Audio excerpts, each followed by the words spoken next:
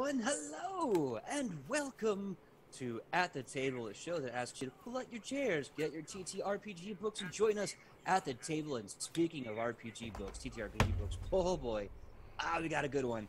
And I'm, I'm not going to show it off yet because I want to have a reveal. I mean, it's going to be a it's going to be a lazy reveal, but it's going to be good. It's going to be worth Oh, it. wait. Anyway, Real, real quick, real quick. Uh, Minter saying there's no sound. Um, there should be sound. yeah, I'm hearing sound on the Oh, yeah. Okay, good, good. All right. I, I was just worried because I was looking at chat. hey, God bless you for having our back. So Mm-hmm. we appreciate it either way. Uh, and that being said, uh, let's let's get into the introductions so we can get to today's episode. So I've been I've been waiting for this bad boy since the playtest. Both of us. Uh, both of us. That's true. Um, so, Mr. Michael Pao, please tell them who you are and where they can find you on that sweet, sweet internet. Well, as always, I am the dashing, the dastardly dashing Michael Pao, and you can find me all over the internet on my social medias, which are at Mr. Kapao. That's M R K A P A O. And how about you? My name is PJ Megaw. You can find me all over the internet at pj.megaw. Facebook, Instagram, TikTok, Twitter. Come find me. Come friend me. Let's have fun. Uh, and without further ado, let's get into today's big bad boy. hmm So, oh God, when did we first cover the playtest? Was that October of last year? Oh God, I I want to say that. No, wait, I I want to kind of say it was a little bit before because since then I played both of the playtest classes. That's right. That that is absolutely right. Uh, I've only been able to play the uh, one of the playtest Mhm. classes with Jasper's Game Day, run by No Nat Ones. Mm-hmm. And now, uh, sometime in August, early September, it finally arrived in hardback form. They had some uh, distribution problems, so everything was like PDF Mhm. for a while. Yeah. But y'all, Yeah. Secrets of Magic Mhm. finally came Ooh, looks nice. Looks thing. nice. Yep. Oh, and what I Oh. love about it, I love the Mm. feel of it in my Mhm. hands, the, the cool blue look. Oh, I I feel like I'm picking up Mm. like classroom literature on, on how to be a Banff and get away with murder. Mhm. Like it's so good, y'all. Oh, I I want to get a hard a uh, hard copy myself soon, and I'm actually thinking of getting spending a little extra cash to get that limited edition red cover. The, Mm. oh, the red leather tones are Yeah. so good. If, if you got the money, get all the, Mhm. the, the deluxe editions. So you have like, this really fancy library, and like, oh, are, he's got encyclopedias. He's a man of class. It's like, no, I'm a man of classes. Uh, No, these are all of- my Pathfinder books. PJ, man of class and culture. Man of class. and cl- That's right. Mhm. You're a rogue scholar and a cleric scholar too. Yeah. Oh, uh, really quick. Um, there was one thing that I have seen a few people complain about, but I don't. For myself, I don't mind that the binding on the red cover is just slightly different from the other ones. I'm like, meh. Uh, one of the things I love is you see, you know, like those old like European books that monks Mm. did, where everything was a work of art. You can see there's that attention to detail still here. In fact, Uh huh. quick look behind this things here. Even the actual book materials have the same filigree, and they even have these amazing little uh, Mhm. notes to consider when you look stuff up. And it's it's exactly what was promised and Mhm. more. You get two brand new full classes, which Mhm. are amazing. I'm playing the Magus. Mhm. They improve. We're gonna talk about it one day, but I will just give like a little drop.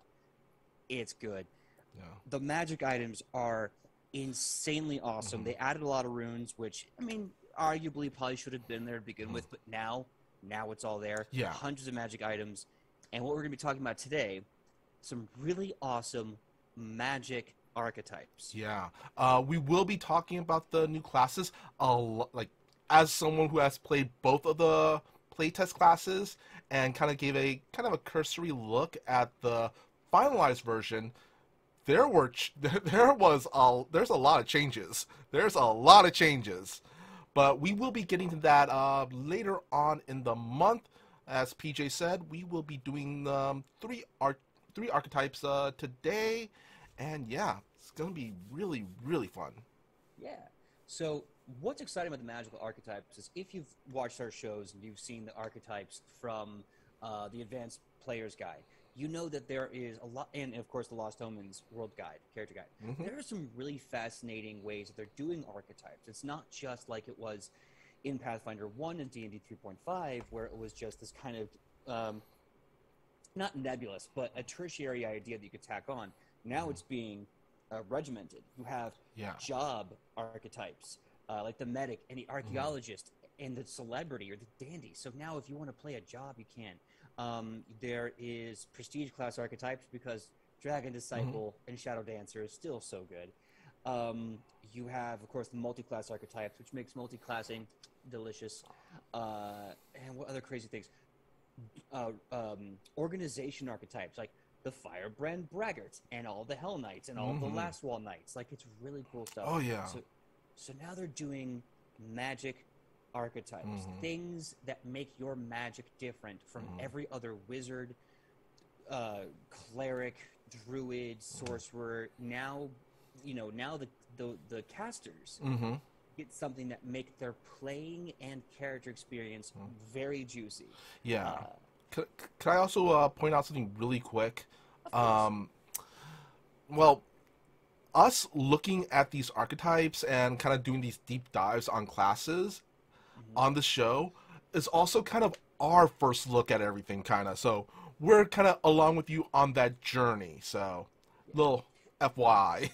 Absolutely. Look behind the curtain. We have prepped what we want to talk about today before we got live, but to Mhm. make sure that we're coming out with fresh eyes and a hot take. Hmm Hot take. Uh, we are waiting until now. So Yep. let's get into it. There's going to be covering three. The first one is the flexible caster Mm. archetype. Um, so we have the books, we have the materials right here, Mhm. but we're going to be pulling this from Archives of Nethys just because, A, the website's amazing, and thank you, Paizo, for supporting Archives Mhm. of Nethys, but also it makes everything easier to read for Yeah. the show for you all. Yeah. Uh, really quick. Uh, also, what's kind of cool about these, uh, a lot of these caster class, uh, new caster archetypes is you can actually take them from level one. Isn't that right, That's PJ? tr- That's true. Yeah, there's there's a kind of a fun, cool thing that you can do at level one, because normally you can only pick them up at 2 four, Mhm. six, eight, whenever the dedication feat kicks in. But flexible spellcaster has a preparation shift at Mhm. first level. We'll get to that in a second. But this is cool because right away your class becomes drastically different Yeah. and grows differently than what you'd expect your wizard or your sorcerer to do. hmm So, um, do you want to read that one sentence flavor, or shall I? Why don't you read the sentence flavor and I'll get the mechanics right after. All right.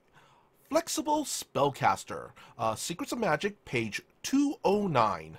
You've learned how to cast spells flexibly, blending the best elements of spontaneous and prepared spellcasting at the cost of casting fewer spells each day. That's right. This class feature alters your spellcasting class features, such as arcane spellcasting for the with the wizard, or divine spellcasting for the cleric. Hmm? So there's no limitations there. If you choose this class archetype, you must select the flexible spellcaster dedication as your second level class feat. Uh, prerequisites: You must have a class such as clerics, druids, witches, and wizards that prepares spells in their spell slots. So unfortunately, the spontaneous dudes can't really benefit from this too much. Flexible spellcaster adjustments, though. You learn spells as normal for your class. A wizard uses a spell book, a witch teaches spells so they're familiar, and so on. But you change your spell casting from your class in these ways. You cast fewer spells each day. According to the table uh, related to this class, you only get two spells per spell level a day. Um, they don't advance to 3 Mhm. Reduce the number of cantrips you gain from your class by two. This archetype doesn't change the way you prepare cantrips, you just get two less. And I will say this you still top out at the maximum of five. So it's not too scary. During your daily preparations, you prepare a spell collection rather than preparing spells into each spell slot individually. The number of spells in your spell collection each day equals the total number of spell slots you get each day from your spell class. Select these spells from the same source as normal, such as a spellbook for a wizard. You can cast any of the spells in your collection by using a spell slot of an appropriate level. For instance, if you're level 1 and had Featherfall and Magic Missile in your spell collection, you could cast Featherfall twice that day, Magic Missile twice that day, or each spell once. Extra spell slots you gain have additional restrictions, like the Wizard's Specialist School spells or the Cleric's Divine Font spells, don't change due to this archetype. Which, if you're playing a cleric, if you're like me, you just breathe a huge sigh of relief. Uh, nor do spells, uh, such spells, count toward the number of spells you place in your spell collection. So, effectively speaking, what the crux of this does at level one, um, yeah, you're going to get less spells a day, but it kind of functions like what I think a lot of us already sort of do, maybe Mhm. under the table, where we just get all of our spells that we know, and then we just kind of throw it out there at the level we want it to be. Now, normally we still are limited by level and such, blah blah blah. Um, but this is great because if you have a uh, collection of spells, you can on the fly take your first level spell and then cast it at whatever highest level you want to without having prepared it 1st Mhm. or losing that prepared spell slot for another spell only if you have some class feature. Nah, forget about it. Everything is uh, flexible. Yeah, yeah. Uh, it's kind. I kind of want to say, from at least the sound of it, you could play a prepared spellcaster such as a wizard, essentially like a like a sorcerer. Yeah, and I think that's kind of um, uh, the the goal here, because like wizards, especially in especially in Pathfinder, where now there's like hundreds of spells. The the thing that makes them great and also tricky is that they have a lot of access to magic. They have Mhm. the most access to magic, but they are still kind of hampered by the fact that they have to prepare everything ahead of time. And how Mhm. often have you been in a game and someone's like, "Oh man, can you?" uh, cast that spell, and the and the cleric or the wizard has to go. I can't. I didn't prepare it today. Yeah, yeah. Not anymore, buddy. And also earlier when you're saying uh, talking about uh, heightening spells, um, I'm just going to read here the heightening spells uh, information.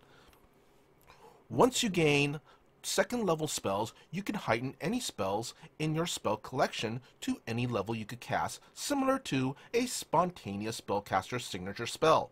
The only restriction is that you must select at least one first level spell for your collection each time you prepare, ensuing, ensuring that you can use all your spell slots each day. I mean, it would make sense Yeah. because if you prepared nothing but ninth level spells at level twenty, you're screw- You're screwed. Yeah. You're so screwed. Yeah. Um, now I want to go back and something because in the chart for the flexible spellcasters, yeah, you have two less spells a day, but the collection is is a lot Mhm. more upfront. Like the chart basically shows that at level twenty, you're going to have an 18 spell collection pool. Mm-hmm. And if you, if you've played this game, you know that sometimes 18 spells is more than enough to figure out what the hell you're going to Yeah, yeah, yeah. I kind of also want to say, um, you know what? You this this uh, flexible spellcaster it really, I want to say it stops really mattering how many spells you could cast once you get to I want to say a level five, level six, especially typical game. I kind of want to say these days are three to six hours long, right? Yeah, generally speaking, they're about three to six hours long. It really depends on the group. Um, the last night I did Strength of Thousands, and it was a two-hour game. Mhm. Um, and it's interesting. It's definitely refreshing, but it does make time like very important. How you spend that time becomes Yeah. important. But at fifth to sixth level, you have six levels, uh, six spells you can cast per day. That should be more than enough. And then you, on, on top of that, you have cantrips, which are all day, every day. That's true. And the and the blessing here is, yeah, you're going to feel a little nervous because you you're losing a lot of what would normally be your maximum spell potential. But what's great is by level four, you have your full retinue cantrips again, Mm-hmm. um, and you're getting two bullets in every level of a chamber. That's kind of dicey i- if you're worried about that. But depending on what your class is, you still have those dedicated spell slots. Yeah. Like if you are a war priest and you went with a harm font, Mhm.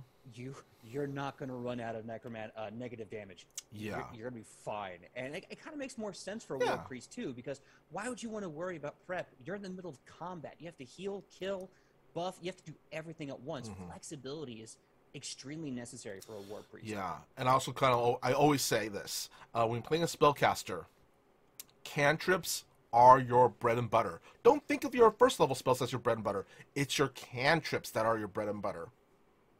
A hundred percent. If you are playing a caster, and this is a hot take and this is probably too spicy. If you are playing a caster that is not a magus and you are using your melee weapon, you messed up. Mm-hmm. Bottom line, you done goofed. Your cantrips actually will level faster and better than the melee weapons, Mhm. especially when most of them still allow you to put into effect your modifier. Now, yes, there is a thing that weapons get like weapon specializations and a whole bunch of things to tack on, blah, blah, blah, blah, blah. Yes, that's true.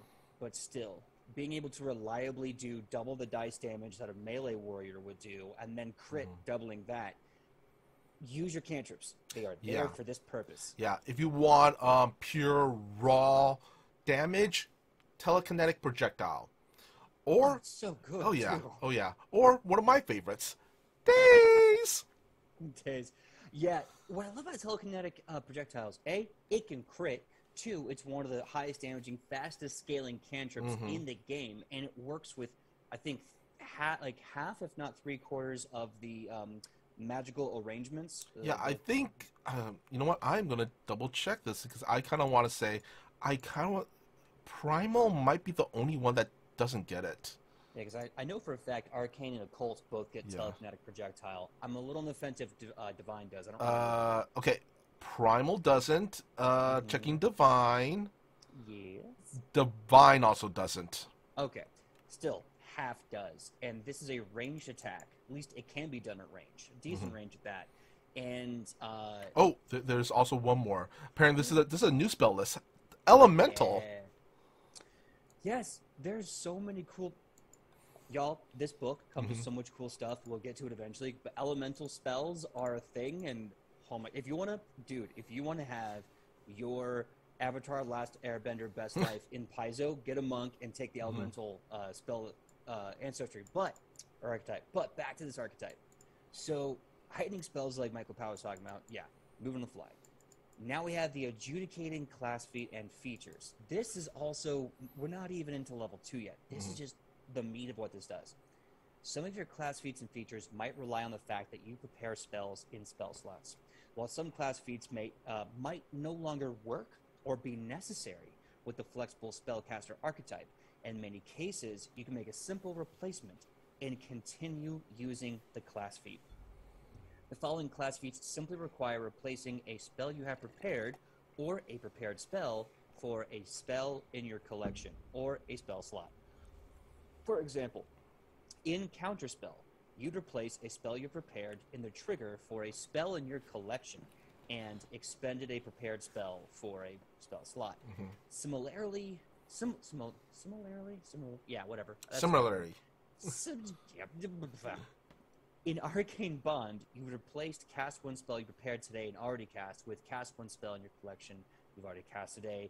Counterspell and the Leyline Conduit feats. We'll get to Leyline magic in another episode. Uh, in the core rulebook, need these substitutions, as does Form Retention from the Advanced Player's Guide. Spell Mastery provides additional restricted spells like Divine Font or Specialist spells. You can take it, but it doesn't add to your collection and works like normal prepared spells. So, you know, when you get special like tertiary spell slots off your list that give you cool stuff, those are still fine. Those are untouched. Those are still balanced. Those are good. This is literally a net win for war priests and every wizard out there, and maybe some witches if you really want to have like your sorcerer experience with your witchy coven vibe. Mhm. Uh, all right. Then next up is there are some downsides. There's there's always gonna be power comes at a price. There are some disallowed feats. Um, if you take this archetype, the following feats from the core core rulebook aren't available for the flexible spellcaster. Call the Wild, clever counterspell, infinite possibilities, re-prepare spell, and spell combination. The disallowed feats from the advanced player's guides are as follows elemental summons, miraculous possibility, rites of convocation, and rites of transfiguration. So, I, th- there are some some things you can't take. and I see why they've done this. It, it actually kind of makes sense. Mhm. A lot of these feats are giving you the knowledge of a spell. Yeah. So that's kind of the the whole issue with it is that since you have a collection of spells, which kind of replaces, or I guess I could say supersedes the knowledge function. Whenever a feat would come up that would be like, you know this spell, it's like, no, not with flexible casting. Yeah. the whole idea is it's not that you know these; you just have a pool of spells you would normally know. Yeah, it's um honestly it's it's more language than anything. Game balance, I guess. I guess. Mm-hmm. But anyway, um PJ, why don't you take the dedication itself? All right, so flexible spellcaster dedication feat. When you take this feat at level two, you get four cantrips instead of three, and then at level four, you get five cantrips instead of four. This is the dedication feat that you have to take at level 2 Mhm. anyway. Yeah. And this is what I was saying. This kind of fixes the problem of you only having three cantrips a day. Mhm. Now, here's the beautiful thing about the flexible spellcaster. You start off at level one, dedication feat at level two, and it's done. Yeah. The changes are made, the buffs are given. Mhm. You're you're all flexibled out. Have Yeah. a good day. If you want to take another archetype, be free. Feel free to. You don't have to take another archetype, another two archetype to uh, make sure to stay into this dedication. Absolutely, yeah, because it's only got the one dedication feat. Yeah. You don't have to worry about the rule like you have to have two feats for each change. By level two, you're done. You have this badass addition to your character, and you can go on further builds. Mm-hmm. I mean, imagine a war priest with this, and then taking. I don't know. I can't think of a really exciting archetype that would make sense. I guess champion. Let's go with champion. Champion could work, or maybe the next archetype that we're going to talk about, Rune Lord. Yes, y'all, I got so excited when I saw this. If you know about the Pathfinder modules and campaigns, the first ever, first ever Pathfinder campaign, adventure path, if you will, was Rise of the Rune Lords.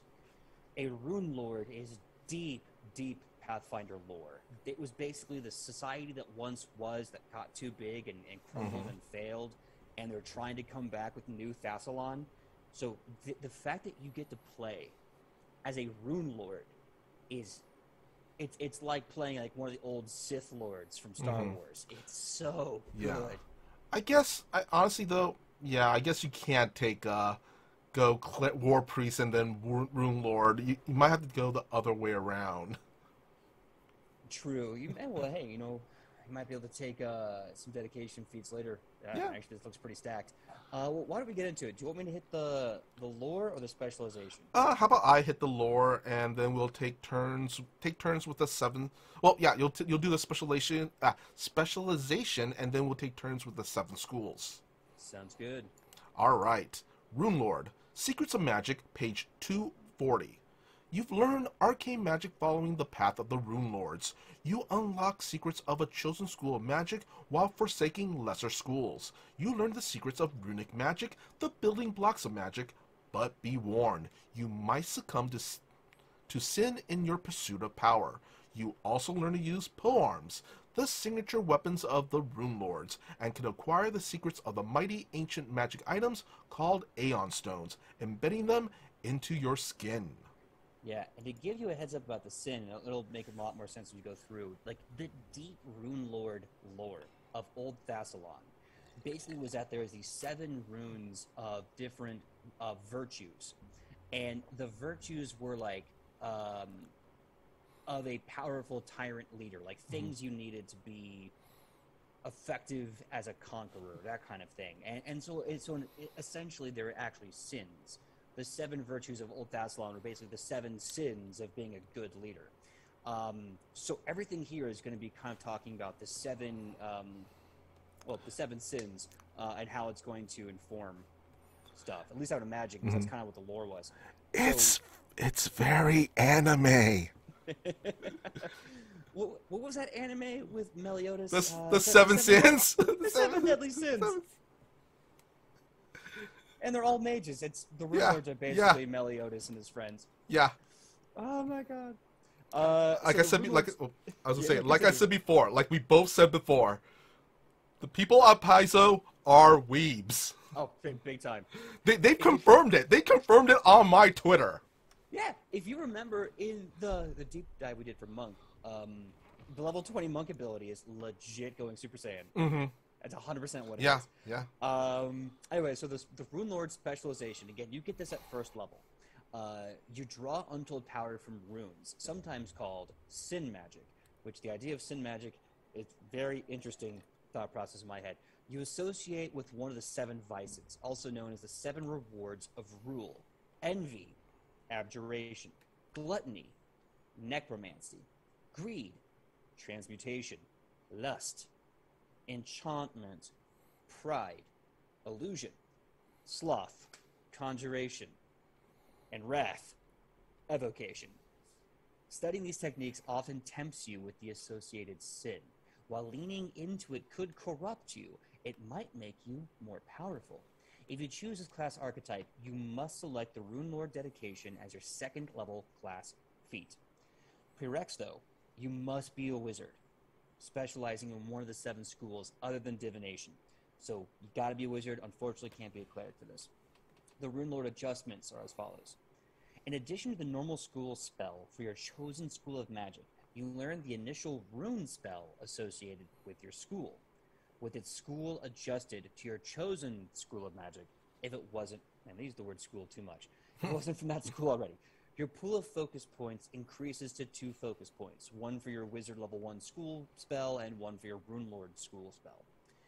At 8th level, you also learn the advanced rune spell associated with that school, also adjusting it to match your chosen school of magic if it wasn't already, and you get three focus points. So what's cool about this is that you do not have to worry about taking feats that give focus points to get more focus points. You just freaking get them. Yeah. Uh, you can refocus by now. This is role play that's very interesting. Really make sure you talk with your GM and your players about this because you get to refocus by indulging in your school's sin in lieu of studying your spell book. You don't have to sit down and read a book, but you have to do something potentially kind of bad. As you become more powerful, your indulgence grows. At 12th level, if you indulge in your sin to refocus, you uh, if you've spent at least two focus points since the last time you, you were focused, you recover two instead of one. At 18th level, you get three instead of two. This is kind of dope because we've seen at this point on the show, there's a lot of classes where to get this ability, you have to take a special feat for it. Sometimes it makes sense to, to take that, and sometimes it doesn't, depending on your build. You get that ability for free as you level up. Mm-hmm. Um, you you are now trained in pole arms, martial pole arms. At 11th level, if you gain weapon expertise in anything, you become an expert in martial pole arms. So now you have a heavy weapon that you can use. You have uh, guaranteed three focus points as well as refocusing once to get all three back. Like this is a very powerful starting set Yeah. that takes care of itself. Finally, you lose the ability to prepare or cast any spell from your school's prohibited schools. You remove all spells from those schools from your spell list, meaning you can't even activate scrolls or wands of such spells. So as you go into the schools, there's going to be this antithesis. I would imagine things like wrath cannot be like lazy and slothish. So I also kind of want to say, uh, this, this is just uh, the whole uh, you got to refocus your sin thing. Uh, there are some things that could end up kind of problematic, especially with uh, when consider the sin of lust. But I also want people to understand lust is not always, you know, the fade of black, hanky panky sort of thing. You can indulge in the sin of lust uh, by doing other things like, you know, lust of life. Honestly, roofa it. Just you know, bend the bend the language, so to speak. Yeah, there's definitely some of the vices that are um, harder to do. Like like lust is hard to make work Mhm. without without potentially creeping people out. Yeah. Um, and I think at that point, if you want to like allude to it, that might be the way Mhm. to go instead of like, you know, tell, don't show, because we don't need to see that. I think you might be able to get away, away with wrath because like, yeah, excessive violence is hard to manage. But like if you go out and you punch a tree for an hour, okay, Goku, we get it. Like it's fine. No, just go just go to a bar and you know, just go in a bar, flip a flip a table and just leave. That's it. Nobody knows like why why he come in come in and uh, flip a table. I Mm. love that. It's like, yeah, this this this roided out mage with this like twelve foot glaive just came in, flipped like three tables, flipped the bird to the bartender who wasn't even on duty, and then walked out. Didn't cause a mess, didn't cause a fight, flipped some tables. Oh, you know what? That it would be even more helpful if and then you know he he stuck around. He he, he put everything back and uh, apologized to the to the bartender and left. I love the idea of a polite wrath mage. So there's someone who walks in and they go, "Hi, um, I need to get all my magic Oh yeah. and I'll be Oh, out of your hair before the first rush." I'm so sorry. I'm so sorry. you know, and he sticks around, puts everything back in. You know what? Here, here, here- here's uh, here's five gold. Uh, just ignore. Just this never happened. But I feel like I feel like that kind of has to be the way, right? And then it gets and it's funny, it's interesting. Yeah. Um, let's why don't we hit the seven schools just so we can kind of Yeah. learn more about what you're going to be All right. getting and going to have to be like standing. Uh, should I kick it off? yeah, why don't you kick it off? All right. Uh, actually, I'm gonna kick it off twice because I just want to point out that uh, in this, uh, the Thassilonians, I think that's how you pronounce it, Thassilonians, Mhm. don't consider divination magic to be something that every wizard should learn. Oh, they do consider that uh, divination magic is something that every wizard should learn, but none need to take it to worth it. It's like a lesser school to them. It's like, um, I guess you could say, if it's a school, it's like elementary school. It's the basics. It's like yeah, it's like um, gosh, like every every school teaches gen ed, but it's it's It's gym. It's gym. it's gym. It's gym. Is gym. Gym is divination. There you go. There you go. But honestly, we, we both know the only reason is it just it's eight schools, but there's only seven sins, so something had to be. yeah, wink, wink. It's like let's just pretend it's like something everyone has to. I think it's also so that there's like a neutral ground of magic that Mhm. everyone can have, and divination is kind of a very good utility for all wizards to have. Yeah. But anyway, uh, the first school though is abjuration, which is the sin of envy. Rune lords of abjuration specialize in protective magic and in suppressing all other magic to glorify their own. The prohibited schools are evocation and, and necromancy. Uh, the rune spells are there's two rune spells. The initial is blind ambition. Should we go into each of these rune spells, PJ? Of course, of course. All right. Uh, blind ambition is, let's see, it's uh, one focus. Domain is ambition.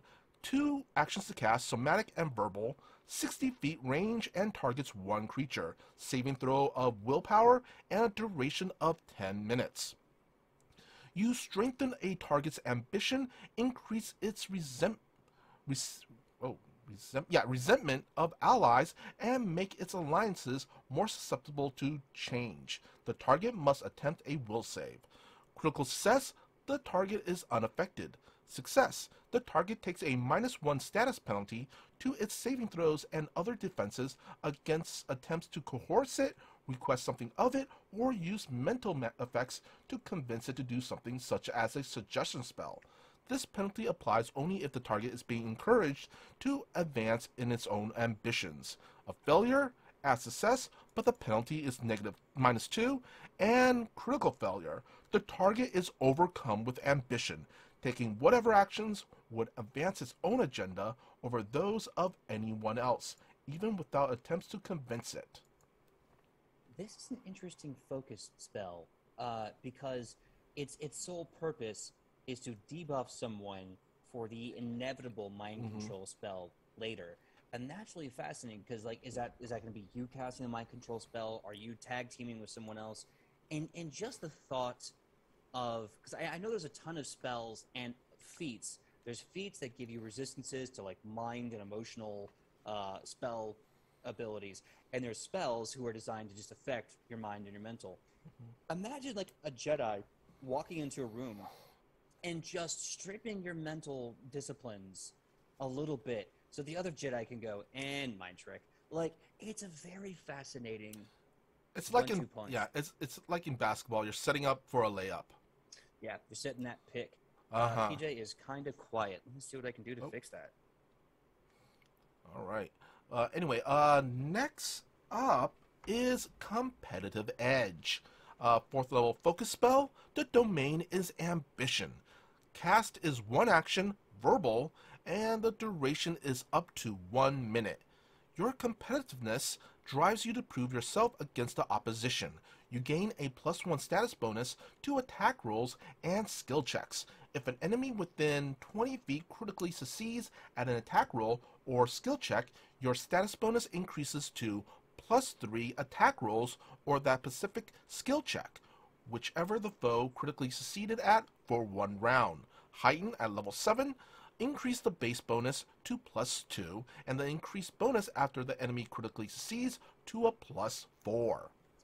All right, I just upped the volume, so hopefully I'm not too loud on your end, Michael. Uh, you're good. you're Uh, good. okay, good. So what I like about competitive edge is that the entire thing about the Rune Lords is that they were not uh, uh, only wizards. They were very Mhm. uh, uh, tact tact uh, tactical. Yeah, tactical like lords of war as well as amazing warriors of the glaive.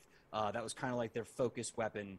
Um, that like you know if you were a good rune lord you were great at a, at a polearm so i like that there's a there's a, a thing here that like kind of embraces this idea that they they weren't just weak casters they were Mhm. awesome warriors too Yeah, honestly, from the sounds of it, uh, Abjuration, they, they sound like the jocks. i could kind of see that i let's see it's definitely it's definitely like one of what i imagine to be like two or three different physical entities of the rune lord way um Yeah, I say jock mainly for the fact that uh, they're competitive. Literally, they're rune spells. Yeah, well, they're they're envy. So I imagine Yeah. envy makes you competitive because you're like, oh, I want that trophy. Yeah. Uh, let me see what conjure. I imagine we're going one after the Yeah, other, yeah. So I'm yeah, yeah, conjuration yeah. next. Okay.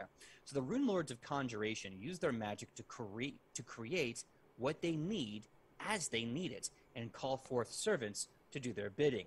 If you couldn't tell, conjuration is the sin of sloth.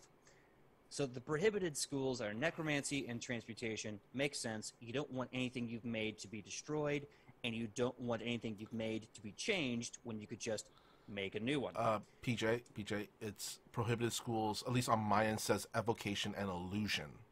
on conjuration. Yeah. Oh, you know what? My brain jumped to enchantment. You're right. Evocation and illusion.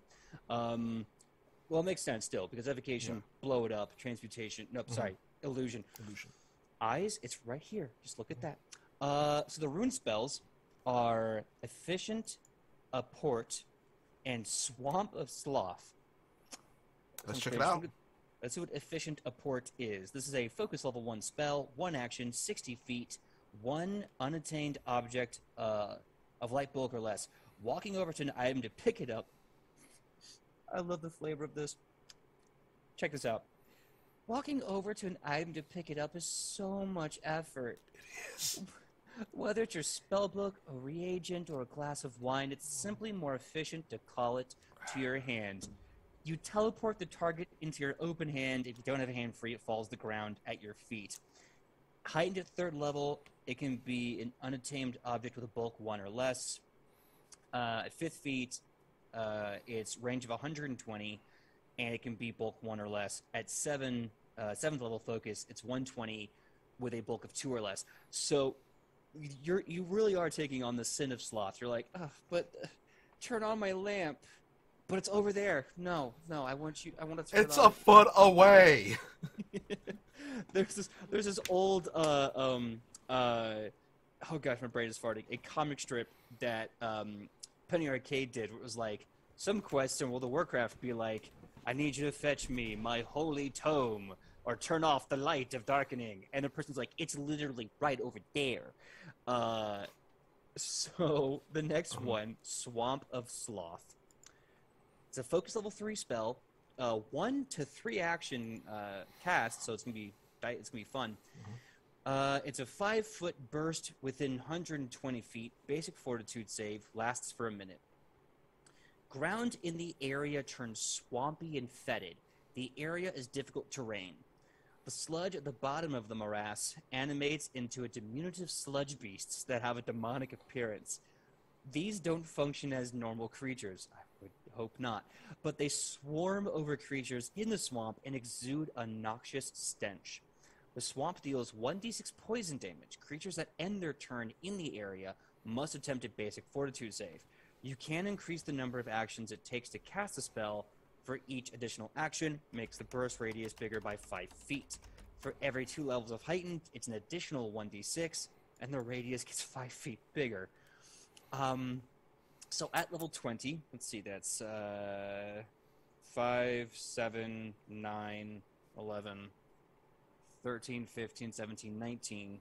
You are, see, that is 7. So that is. At level 20, this will do about 8d6 poison damage and have a minimum foot burst of about 30 to 35 feet in radius. So about 75 to 80 feet diameter, about 70, 75 feet Mhm. diameter.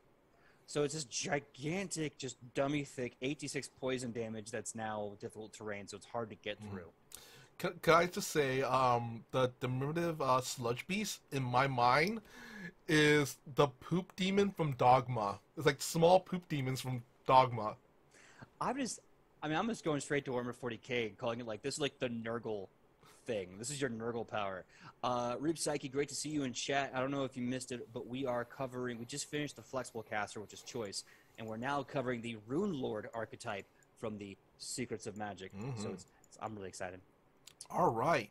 Next up is enchantment. Uh, this is the sin of lust.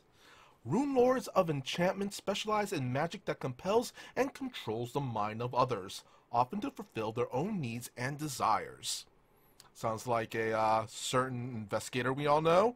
Uh, the prohibited schools are necromancy and transmutation. The rune spells are initial, which is charming touch. Let's see that. Um, first level focus spell, the domain of passion. Uh, one action, somatic, range of touch, targets one creature that could find you attractive. I, li- I, I like that. I like that. Mm-hmm. Uh, saving throw of will and duration of 10 minutes. You infuse your target with attraction, causing it to act friendlier towards you. The target attempts a will save. It gains a plus 4 circumstance bonus to this save if you or your allies recently threatened or were hostile to it. Critical success, the target is unaffected and aware you try to charm it. Success, the target is unaffected but thinks your spell was something harmless instead of charming touch, unless it identifies the spell. Failure, the target's attitude becomes friendly towards you. If it was friendly, it becomes helpful. It can't use hostile actions against you. Critical failure, the target is helpful and can't use hostile actions against you. You can dismiss the spell. If you use the hostile actions against the target, the spell ends. After the spell ends, the target doesn't necessarily realize it was charmed unless its friendship with you or the actions you convinced it to take clash with its expectations, which could potentially allow you to convince the target to continue being your friend via mundane means. That's that last part's kind of heartbreaking. The target doesn't necessarily realize it was charmed unless its friendship with you uh, clashed with its expectations. It's like, but but we were we were gonna go to the monster truck rally. You said you wanted to go. Ugh. See, that- um, See, that's why I say, uh, you know, with um, situations like that, you build a relationship on money. I mean, you can't go wrong so long as money's passing hands. Yeah, yeah. Um, All right. Um, we have one more, uh, the advanced uh, rune spell, I believe. It is called Captivating Adoration. It's a fourth level focus, domain of passion, two actions to cast, somatic and verbal, and an area of 15 foot emanation, saving throw of will, and a duration of one minute. You become intensely entrancing, and the creatures are distracted by you as long as they remain within the area. You could exclude any creatures you choose from the effects. When a creature enters the area for the first time, it must attempt a will saving throw. If a creature leaves and re enters, it uses the results of the original save. Critical success, the creature is unaffected and temporarily immune for one hour. Success. The target, uh, the creature is fascinated with you with his uh, next action, and then is temporarily immune for one hour. Failure, the creature is fascinated with you, and then critical failure. The creature is fascinated with you, and its attitude towards, attitude towards you improves by one step. And uh, heighten one, increase the size of the emanation by 15 feet. So that means in six levels, uh, this will become, oh god, uh, 15, 30, 45, 60, 75, 90. This will become a 90 foot emanation. If I'm doing my math correctly, I may be off. Correct me, please. Mhm. Um, I also that would, is, li- yeah. That's insane. I also would like to say uh, captivating adoration is basically your Beyonce. Yeah. What I like about this is that um, every time they, they enter and leave, it reuses the same role. So if some poor unfortunate NPC critically fails, right? Um, yeah, the, the attitude's going to improve by one step, and every time they come back into that thing, into that circle, they're just going to constantly be treating that as a critical failure, um, at least for that minute. Yeah. So it's just like, I love you so much. you know, it's it's bad time. Yeah. Um, I actually also kind of want to say before we jump to the next school, a little something a little fun. Um, chat. What do you think? Uh, which school do you think uh, me and PJ would uh, belong to? Well, they only know the three so far. Well, we're gonna talk about the other four, so Well, yeah, they well, can make up their mind now. I mean, yeah, but why don't we give them all the information? I'll tell Yeah, you what. yeah. Let's let's discuss what school we'd be in, uh, and you can start kind of planning now. And when we get to the end, we'll do it all together and figure. Yeah, it out. yeah. Uh, anyway, uh, PJ, I believe you're next with Wrath. Evocation, make things go boom.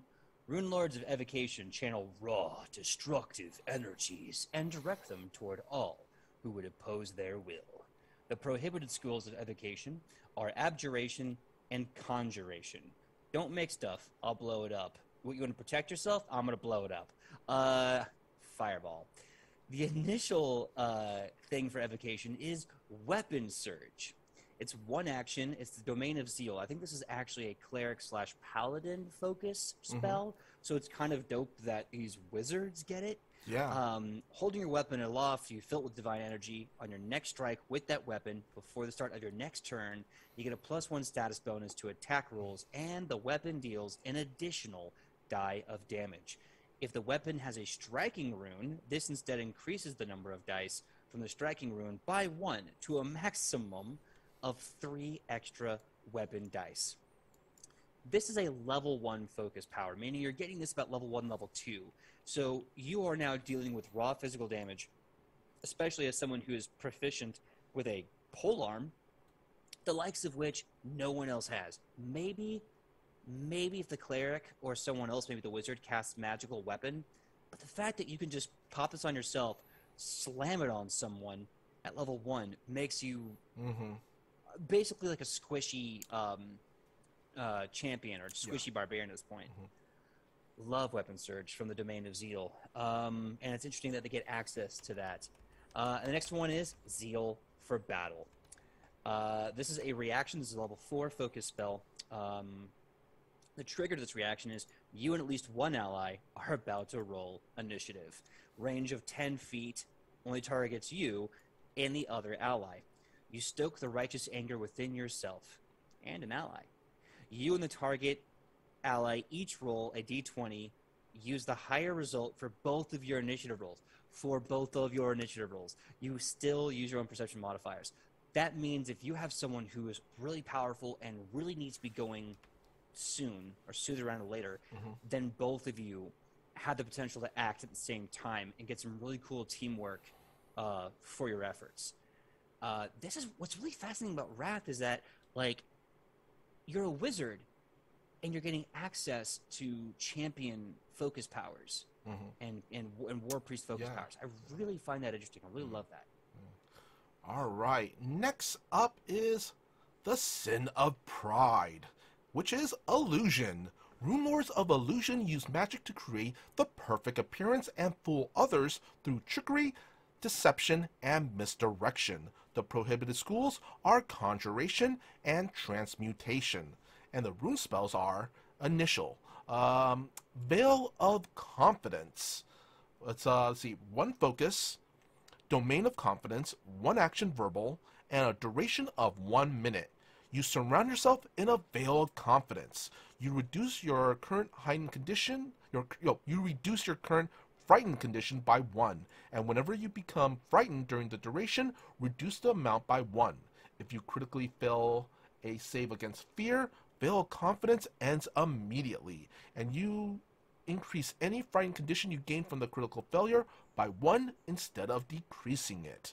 So, pretty much, um, I guess, especially if you're fighting a dragon or something, which has kind of that aura effect, or honestly, a dread stance marshal, this could, this will be a very, very big help with it. Yeah, frightened is one of those things that gets used a lot around level one. Mm-hmm. Um, it's definitely something. I mean, who wants a debuff? But I feel like Yeah. of all the debuffs in the game, this one is like the most common and also Mhm. not the hardest hitting. Like I think enfeeble will screw over someone more than frightened will. Yeah, unless you have to be creative with it. I just want to say this: you have to be creative with it, like yeah. frighten them off a cliff or something. anyway, Possibly. yeah. Anyway, uh, our advanced rune spell is called Delusional Pride. It's uh, focus four, domain of confidence. Uh, see two actions to cast: somatic and verbal. Range of 30 feet. Targets one creature. Saving throw of will, and the duration varies. You make the target overconfident, leading to it to ascribe, uh, to ascribe failure to external factors. If the target fails an attack roll or skill check, it takes a minus one status penalty to attack rolls and skill checks until the end of its turn, or the end of its next turn, if it's attempted the roll outside of its turn. If the creature fails a second time while taking this penalty, the penalty increases to minus two. The duration depends on the target's will save. After attempting a save, the creature becomes temporarily immune for 24 hours. Critical success, the target is unaffected. Success, the duration is one round. Failure, the duration is 10 rounds. And critical failure, the duration is 24 hours. So what I like about this, is this is a really, really good uh, debuff. Mhm. Um, a critical failure, 24 hours of Yeah. taking a minus one or a, a minus two if it fails a second time, uh, is a really good way to, I don't say shut off a boss fight entirely because a lot of, a lot of um, elite characters have such high bonuses to hit that it's it's Mhm. it's insane. But like it's still a really good um, Yeah, um, it's effect. It's one layer of that um, debuff cake that you're setting up. Because if you're debuffing, you're you're setting up layers upon layers of debuffs. I like that. Yeah, as long as the um uh the source of the buff or Yeah. debuff isn't the same, then they can Mhm. stack. Yeah. Um, because then it gets crazy. Mm-hmm. Uh, so the next one we have is necromancy, which is the sin of gluttony. Uh, the rune lords of necromancy tap into their constant hunger for more power and enhancing their longevity, potentially even into undeath. So the prohibited schools are abjuration and enchantment. Your initial rune spell is called overstuffed, or overstuffed from the domain of indulgence. Uh, it's a range of 30 feet, two actions cast, one living creature, saving throw, fortitude. Huge amounts of food and of food and drink fill the target. It receives a full meal's worth of nourishment and must attempt a fortitude save. Critical success, the target's unaffected. Success, the target is sickened one, but if it spends an action to end the condition, it succeeds automatically. Failure, the target is sickened one, no chance of getting rid of it. Critical uh, failure, the target is sickened two. A target sickened by the spell takes a negative 10 status penalty to its speed until it's no longer sickened. So uh, it's weird. Like, uh, so it's obviously just a sickened ability spell, but there, there's no healing or nothing. It's just Yeah. I'm just gonna like pop, and you're just gonna get like, ugh, very Yeah, uncomfortable. I, I want to say this is basically um, that character from Monty Python, The History of the World. Yeah. Uh, the one who's like, um, Always eating. and he's like, "Would you like a Would you like an after dinner mint?" Okay, and it explodes. Yeah. Uh, oh god, it's, it's there's a horror movie about this where like someone's just constantly like, there's one where someone's constantly thinning away to like Oh, they Thinner. die of starvation. Dinner. It's a Dinner. Steve, Stephen King, based on a Stephen King novel, I believe. Yeah, and I want to say there's another one where it's basically that in like reverse, and it's just it's not even about them being fat because that's that's not the point. It's about them being filled with food magically, like they're slowly Mhm. just like a balloon with air. Yeah. Uh, anyway, take its course. That's the next uh, necromancy gluttonous uh, spell power. Focus spell. Mhm. Again, from the domain of indulgence, two actions range, touch one creature. When someone has overindulged, you can hasten them past the worst of their affliction or intensify their misery. This spell attempts to progress a disease affliction, a poison affliction, or a persistent poison damage affecting the target. If the target is affected by more than one of these, choose from one that you're aware of. Otherwise, GM chooses randomly. An unwilling target can attempt a will save to negate the take its course thing. The effect of the spell depends on whether you are attempting to end an affliction or persistent poison damage, coffee burps, and whether you are attempting to help or hinder the target's recovery. So, affliction. The target immediately attempts the next saving throw against the affliction. You can grant the creature your choice of a plus two status bonus or a negative two status penalty to its save throw against the affliction. So if you want to use this to help your allies or hurt your enemies, you have that flexibility. Persistent poison. You can cause the target to take the persistent poison damage immediately when you cast the spell, in addition to taking it at the end of its turn normally. Whether or not you do so, the target attempts an additional flat check against the persistent poison damage. You can set the DC the flat check to 5 or 20 instead of the normal DC. Wow. So, if someone has persistent poison damage, you can either attempt to help them get rid of it entirely, or you can uh, basically make it a hell of a lot worse. Yeah. Uh, oh, heightened level seven. You can attempt to pro- to progress any number of the target's eligible afflictions. So when this thing is a seventh level spell, you're about level 14, level 15. You can do all of those things at once. You can let you go. I'm gonna make your persistent poison damage worse. I'm gonna make your disease factions worse. I'm just gonna make everything worse. Oh yeah. All right. Next up, we are at the last and final school. This is the school of transmutation and the sin of greed. All right. Rune Lords of Transmutation not only transform objects to create value, but also transform and enhance their own power. Prohibited schools are enchantment and illusion, and the rune spells are, see, initial, appearance of wealth, uh, see, focus one, see, domain of wealth, and two actions to cast, material and yeah, material and verbal, range of 30 feet, and an area of a 5 foot burst. Saving throw of will and a duration sustained up to a minute. You create a brief vision of immense wealth filling the spell's area. Each creature within 20 feet of the area that could be entranced by material wealth must attempt a will saving throw. A creature that enters the area automatically disbelieves the illusion, and disbelieving the illusion ends only fascinated condition imposed by the spell. As long as you sustain the spell, other creatures react to the treasure like they would any other illusion, but they are not at the risk of becoming fascinated. Critical success. The creature disbelieves the illusion and is unaffected by it. Success. The target is fascinated by the wealth until it has completed its first action on its next turn. And failure. The creature is fascinated by the illusion. What I like about this and the Charming Touch and a bunch of other spells is that it allows things to continue making sense. Mm-hmm. How many times have we been playing a game where there's a spell that forces you mechanically to have this effect but at the cost of this narrative? And there's a lot of times where that doesn't add up.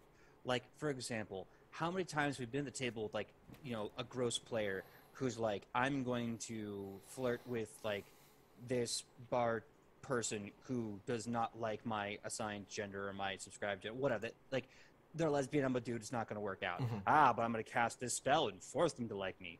First of all, that's creeps city. Gross. We all agree that person sucks and they should stop. Mhm. But but still, mechanically, it doesn't make any sense that this would even be applicable. Which is why I like the thing about charming touch is that if that person, as their own uh, uh, identity, would not like this person romantically, the spell doesn't work. Mhm.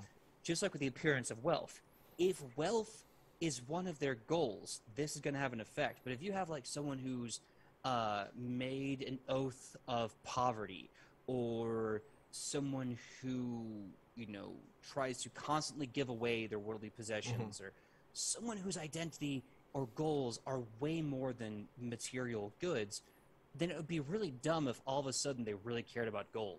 You know, Someone It's who's like- not Rufa. for, for lack of a better, yeah. So like, I can imagine Rufa going into the spell and it affecting them. Absolutely, Mhm. it wouldn't make any sense to me if suddenly Woodward or Alona, uh, be, because magic now cared about infinite wealth. Unless it's an infinite wealth of hooch Well, I mean, or choco meat. I don't think she likes choco meat. I just think she likes the gains. But that's just that's just my uh, that's just my thought. Mhm. But what, I- what I like about that is that the language that Paizo was putting these abilities protects narratives that make Mhm. sense. And I really appreciate that. Yeah. All right. And now we're at the advanced rune spell, which is which is called Precious Metals. Uh, focus four, Domain of Wealth. Uh, one action to cast. Uh, material, range of touch, targets one metal weapon, or up to ten pieces of metal or metal-tipped ammunition, one suit of metal armor, or up to one bulk of metal material, such as coins. It's a duration of one minute. Your deity blesses base metals to transform them into precious metals. The target item transforms from its normal metal to cold iron, copper, gold, iron, silver, or steel. Uh, let's see. An item transmutated in this way deals damage according to its new material. For example, a sto- steel sword transmutated to cold iron would deal additional damage to a creature with a weakness to cold iron. This change is clearly magical and temporary, so the item's monetary value doesn't change. You can't transmute copper coins to gold and use those coins to purchase something or as a cost for a spell. Let's see, heighten 8, you could add a add a adamantite and mithril to this list of materials you could transform the item into. See, I like that because like adamantine is really good for like damage resistant bypassing because you'll see this every now and then with like Mhm. constructs like DR five ten whatever uh, adamantine. So like if you have adamantine, you can bypass that DR. Mhm. Uh, and mithril is good because I believe mithril makes a weapon. Uh, an agile weapon or a finesse weapon, something like that. Basically, makes it lighter. Yeah. Um, and I think one of the things that is cool and needs to be remembered is that the Rune Lords are just as capable warriors and generals as they are mages. Mhm. And you kind of, when you play this uh, archetype, you need to be really focusing in on both aspects. Yeah. Um, I also kind of want to say that this is super useful, especially if you have copper coins. One tactic you use is if you're fighting the Fey, copper coin, transmute it into uh, cold iron. Or you're Mhm. fighting uh, were creatures, transmute it, those copper coins into silver, and basically use those as uh, sling weapons. Like PJ, would you I- would you allow that? Absolutely. I mean, if you want to literally throw away your copper that way, yeah. Um, I Mm-hmm. think you can also do that with uh, traditional ammunition as well. Yeah. Now, if you don't have ammunition, Mhm. uh, whether they be arrows or sling bullets, you can still get coins and just ping them at people. Yeah. Uh, I and at kinda- that point, Yeah. no, no, was, was, I was gonna say, um, I, I'm basically saying coins made for the fact that it says base metals. I- I don't think rocks would be considered a metal. So, yeah, rocks, no, but they uh, the bullets for slings Oh, also yeah. come in like little lead pellets and True. stuff. true. It depends on what the the the understanding and lore you're using. I think Yeah. rules as written, it still says ammunition, so Mm-hmm. have fun with it. Yeah. So anyway, those have been the seven sins and the seven schools of the Rune Lords, and so uh, yeah, PJ, Mm-hmm. uh, let, let, us go back and forth. Uh, Okay. which school do you think I would be a part of? Well, just just from what you've said on at the table before and how you responded reading it, I'm gonna have to go with um, I think I think either enchantment or uh, transmutation. I'm thinking the enchantment thing is I know you like I know you like playing like the characters who like the mind powers and the mind control stuff, so I can see that working. But also greed or uh, the transmutation for greed because hey, we live in a capitalist society. Everyone needs money. Mm-hmm, mm-hmm. But hey, at least uh, I use my money for good. I'm, I'm, I'm adding air quotes, but good. Well, okay, so I one of the things that I've always had a problem with with the alignment system, right, Mhm. is who's defining the morality. Um, because oftentimes the world settings for for TTRPGs, the alignment setting is kind of the neutral morality compass that we all kind of more or less agree upon, and then we start judging peoples and countries and demons and angels by our base moral compass, which is always kind of weird because like what if by their moral standard they are good? They are doing everything a good demon should be doing Mhm. you know? And then it's like is is this good that i'm doing? Is this evil that i'm doing? Like it's always a weird Yeah, like like that one um that one comedy sketch. Are are, are we the baddies? a hundred percent Yeah. and Uh, and that's the dumb thing like Mhm. you go to cheliax and they're like please don't hate the player hate the game we're right and then with the rest of Yeah. the world's like but you're you're openly working with devils why are you dumb yeah, like at Cheliax, Benny Rage is well all the rage. While if Benny's out in the world, might not be as liked as much. But Cheliax, everybody loves him. he's a great Chelaxian but, yeah, you know yeah. um, Um, PJ, okay, mhm. for you, I using the same um, same qualifications and uh, what you said before on, at the table, Mhm. and es- essentially knowing that you're, for the lack of better ter- better term, a beefy boy. I lift and eat food. hmm I want to say evocation, the sin of wrath. See, I think you're right. I definitely feel like I don't know if my personal sin is wrath, but I Mhm. do know that I would want to play this just because a evocation spells are the most fun spells. So the, Mhm. they're the flashy ones that hurt the bad guys, and also I the the domain of zeal was always like my favorite for doing damage. Mhm. So like you've you've just given me two amazing things that I love, like Yeah. a fireball wizard and a zeal paladin, and I'm just gonna want to smash the face. You know what, PJ? I'm just gonna say this now at the on this at the table. Some point next year, if we do a uh, one shot in the world of Golarion, we, should, we need to do a one shot where everybody at the table is a rune lord. Ooh, I I kind of love that, especially if we um stick to like a different school, so we don't Yeah. have like a lot. That'd be so dope. I mean, it would take forever because we'd have to have at least five to six players, seven if we want to have like all seven represented.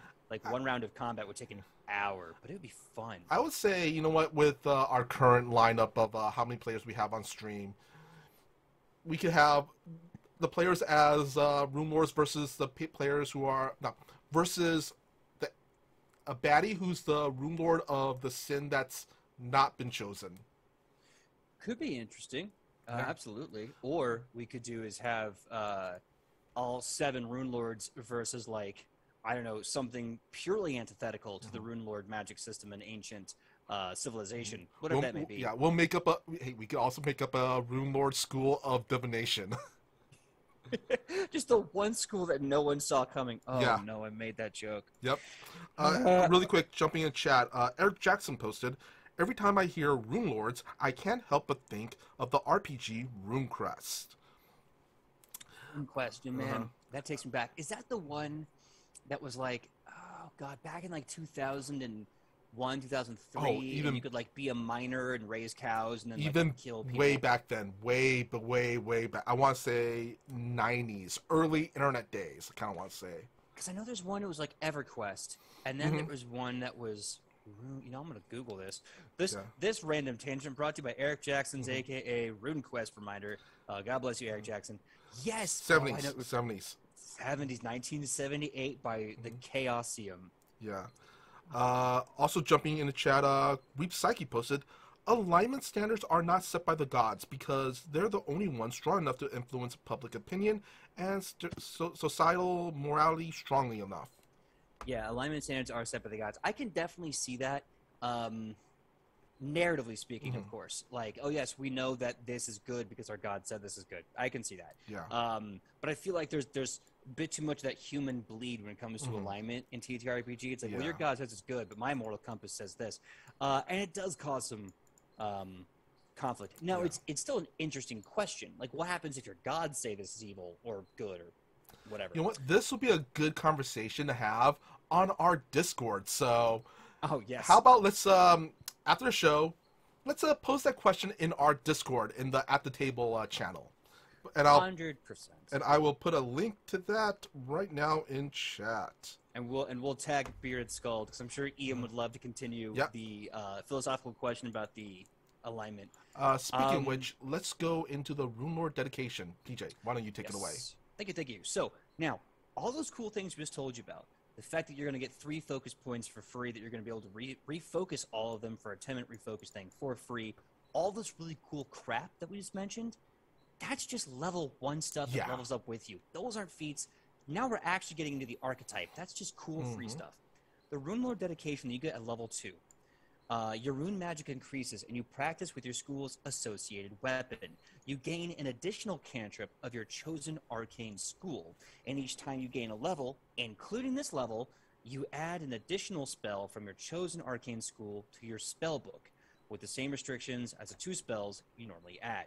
So you're probably going to get a lot more knowledge, but it's going to be hyper focused knowledge because Mm. there's like two schools you're not allowed to touch. Mhm. So like if you're going to evocation, have all the fireballs. Yeah. Uh, if you're going to abjuration, or whoever doesn't who doesn't get uh, evocation. Um, yeah, abjuration. If you're doing uh, abjuration, you're not going to get.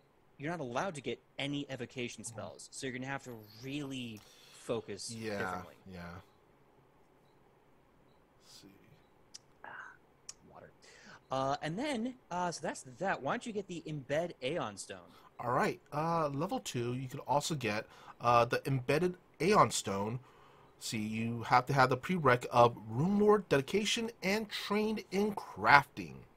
You discover the secrets of embedding Aeon Stones into your flesh. You spend one day attuning an Aeon Stone and physically embedding it into your skin. While the stone is embedded this way, you gain the benefits of Aeon Stone as if it were orbiting above your head, but it but it protects the stone from being noticed or stolen as easily. Aeon stones in your flesh must be invested to function as usual. You can also use this activity to safely remove an embedded Aeon stone in one day. Someone without this feat can attempt to surgically uh, remove it by, if safely, by safely spending one day and succeeding a DC 30 medicine check, or hastily by simply, oof, ripping it from a corpse. So keep in mind, this is a level two feat. If there is someone level two who's going to pop out a DC 30 medicine check, uh, Investigator, maybe? maybe. Um, but this is this is awesome because like, uh, Aeon stones are really really cool, powerful items, and you just get to start stacking them into your body. Uh, and it looks like moving on down the line, just kind of cursory glancing, that's going to improve somehow. Mm-hmm. Um, this is the level. This is the third choice for a level two dedication fee or level two feat after in, in that Aeon Stone. It's called Tattoo Artist. Prereqs to be trained in crafting. This version of the Tattoo Artist feat is intended for use with an archetype and has a different level for access from the original feat. You can craft tattoos, including magical tattoos. When you select this feat, you gain the formulas for four common magical tattoos of second level or lower. You get a plus one circumstance bonus to crafting checks to craft a tattoo.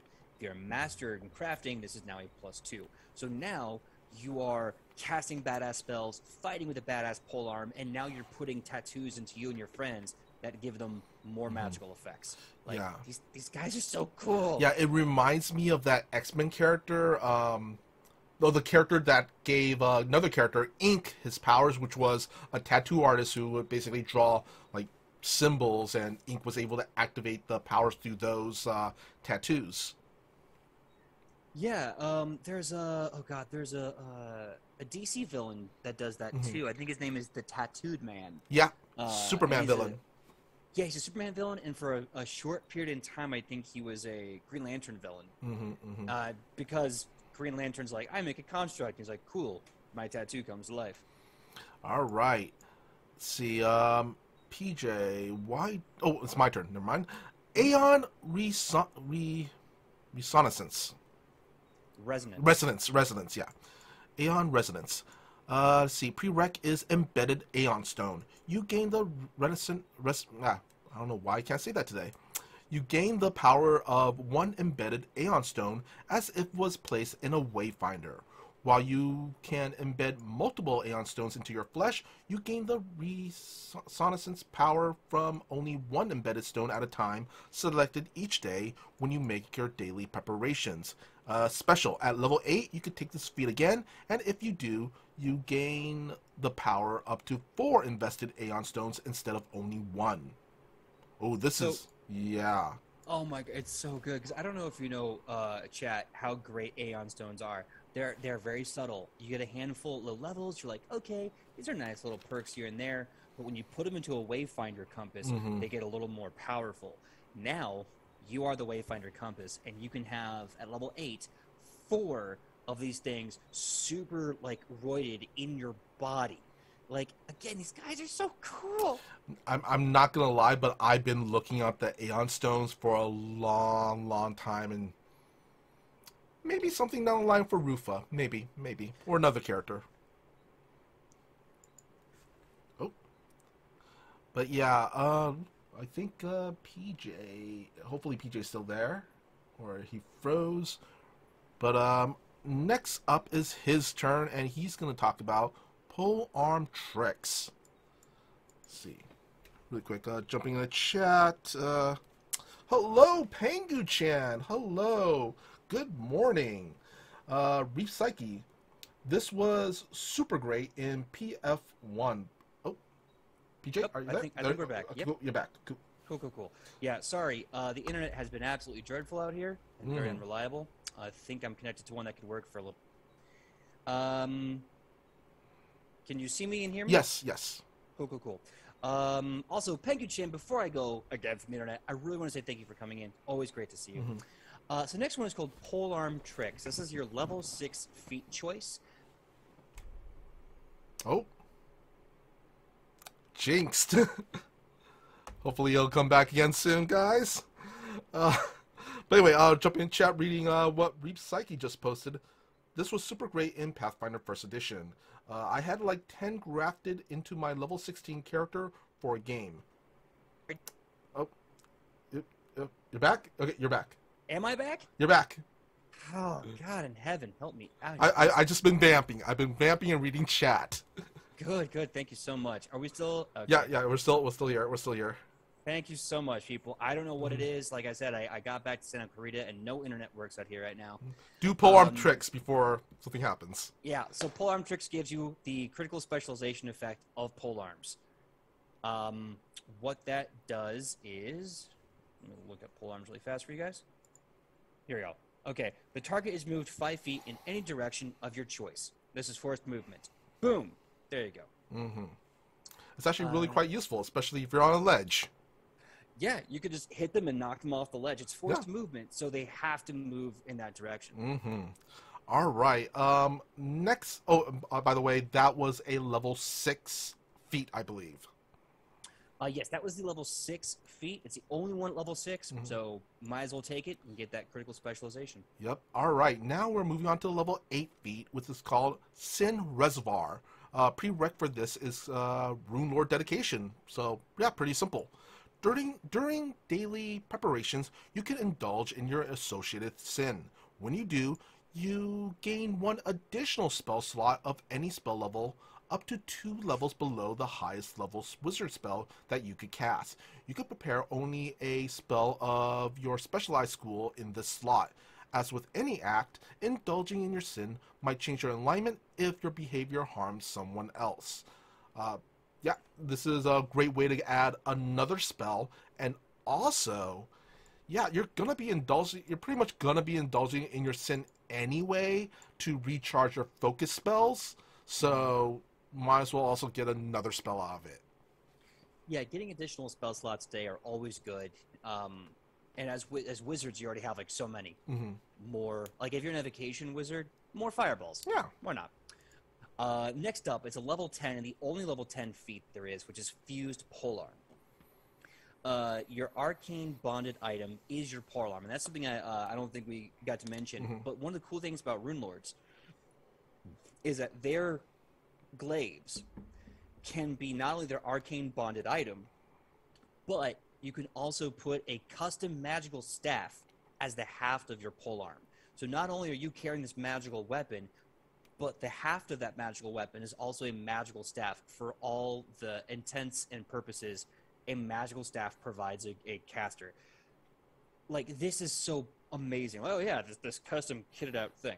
Yeah. So here's what f- the fused polearm does. During your daily preparations, you can magically fuse your arcane bonded weapon and a magical staff together, like I mentioned, into one item, with the staff making up the haft of the weapon. You prepare the staff at the same time you do this, and you can only do this with the staff that you're able to prepare. The fusion lasts until the next time you make your daily preps. While the two are fused, the weapon's the weapon's haft takes an aesthetic aspect of the staff. So you are further combining your powerful magic items, your powerful melee attacks. It, it, it's so good. Yeah. So good. Or you could be like me and um, fuse a clown squeaky hammer on the tip of your uh, staff and call that your fuse fused polearm. I mean, it rules as written still works. Yeah, just like pound squeak, squeak, squeak, squeak. So it's so at level ten, you get this awesome ability to combine magical weapons and magical items. At level eight, you can either choose additional spell slots or four Aeon stones, you know, roiding you to the gills. Like these guys have so much Mm-hmm. Yeah. power potential. All right, next we have a level 12 feat, which is called School Counterspell. Prereq for this is Counterspell and Rune Lord Dedication.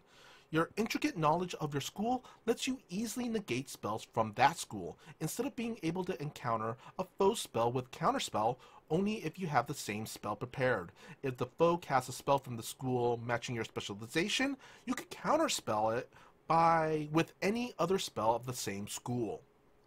So this is dope because I don't know if uh, if some of you were there when we covered. I think it was the sorcerer, Mhm. uh, but wizards can only counterspell in Pathfinder Second Edition.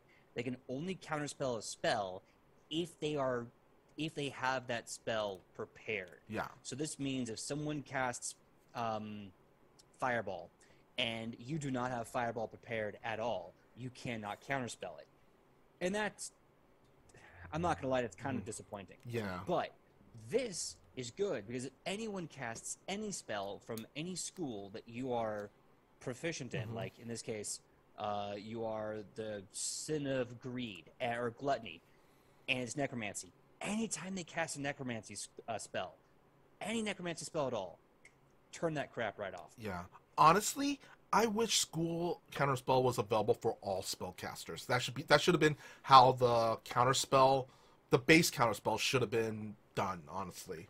Yeah, I think they changed that in Pathfinder 2e because we've all seen it in the other edition how Mhm. broken it gets to the point Mhm. where I mean, I've I've dealt with what I call counterspell rally or counterspell Mhm. uh, uh, ping pong, where you're just sitting there just blowing counterspells left and right because since it's so nebulous and so easy to use, they get tossed around like candy and nothing gets done. The Yeah. GM doesn't get a chance to play. The players are on full defensive support and they're not doing anything offensive, and it just becomes this annoying game of, well, I counterspell your counterspell.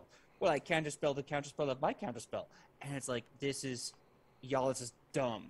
Yeah. And it, as much as it sucks, or as much as it's disappointing in Pathfinder 2e, it it, it doesn't make it overpowered to the point where it gridlocks everything. All right. Um, PJ, why don't you take the capstone uh, feat for the school?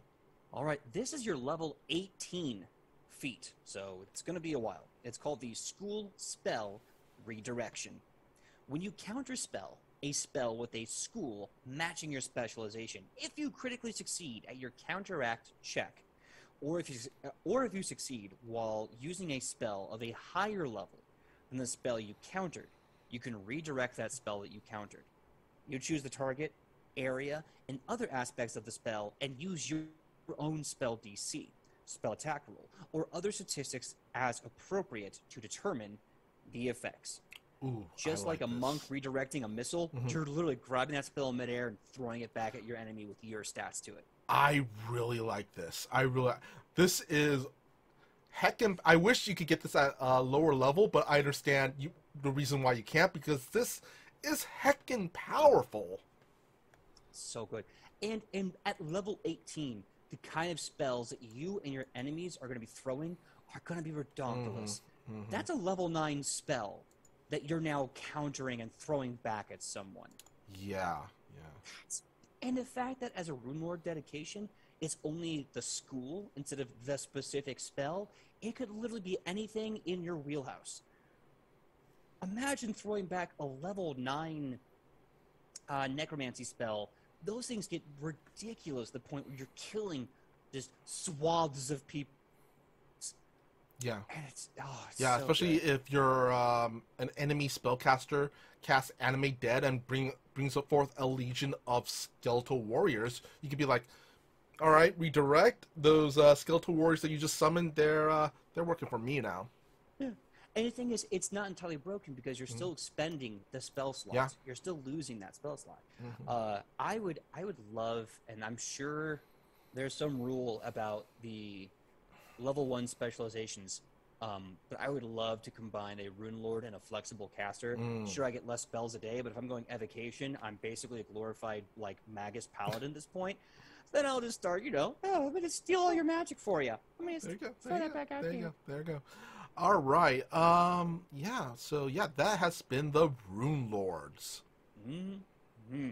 hmm Uh, I was so excited because I, I know about the Rise of the Rune Lord's lore and like new and old Thassilon, and damn it, this did not disappoint. The fact that you are an amazing, powerful caster, focused caster too, with using that focus as you know, the, the best magic defense I've ever seen, incorporating magic abilities to make your weapons dope as hell, combining them with magical staffs so you don't lose a minute of both optimized DPS with melee, optimized magical power, and you're doing this to the wizard, which we haven't gone in deep dive, but Yeah. everything I've read about the wizard online says the wizard's a little disappointing. Mhm. Not with this.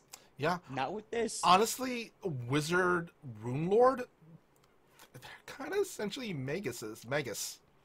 It's it's a Magus without the spell strike, Yeah, and the spell yeah. strike is the crux, but you don't need it when you're casting like Yeah. Ze- a mighty zeal Yeah. all the time. You're you're a spellcaster Magus. You're a Magus specializing in spellcasting. hmm Yeah. But anyway, um, PJ, should we jump into our next archetype? Yeah, this will be our next and last one for the day. Hopefully, we can cram this out in the next 30 minutes. We will Mhm. see. But welcome, ladies and gentlemen, to the final archetype. We've talked about the magic of old lore. We've talked about a way to change how you cast literally anything in the game. Now, what if, what if could control the Geomancer is the next one we're going to be covering. Uh, and why don't you start off with that that first little paragraph of the, the lore? All right, Geomancer. Uh, Secrets of Magic, page 212. You know how to draw power from the land around you, no matter the terrain, by attuning your magic to match its mystical properties. You might be a druid with an elemental focus, such as the flame, stone, or wave orders, or a naturalist with a touch of magic at your disposal. You could concentrate on a single type of terrain to wring every last drop of power from it, or choose to wander the land to experience every type of terrain possible. All right, I'm getting a, a, a, big Planeteers vibe from this. Well, maybe. I think just judging from this awesome artwork in this book, it's going to probably function more like Toph Yeah. from uh, uh, Avatar or maybe like Final Fantasy Tactics. Mhm. But the Geomancer dedication, taken at level 2, uh, the, you have to have the ability to cast from spell slots at least one spell with either air, cold, earth, fire, plant, or water trait, and you have to be trained in nature. So obviously, the druid is the easiest way to do this, or potentially a cleric.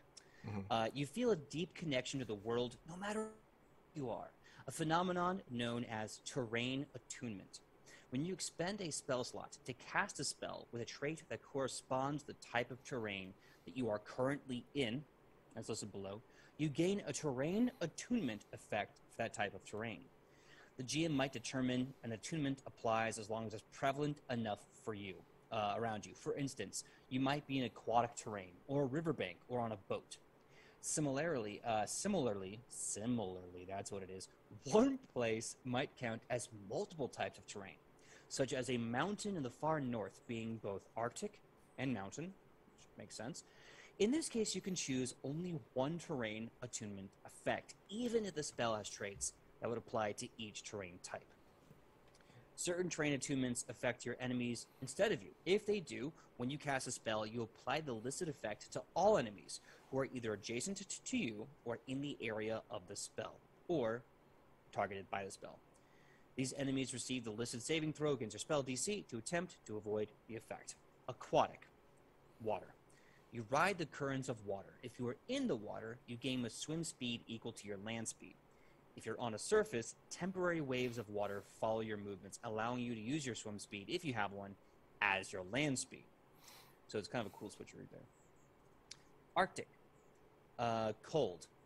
Arctic rime covers your foe's bodies. Enemies must attempt a fortitude save. They take a negative 5 status penalty to speed for two rounds and minus 10 on a critical failure. Uh, desert. Fire.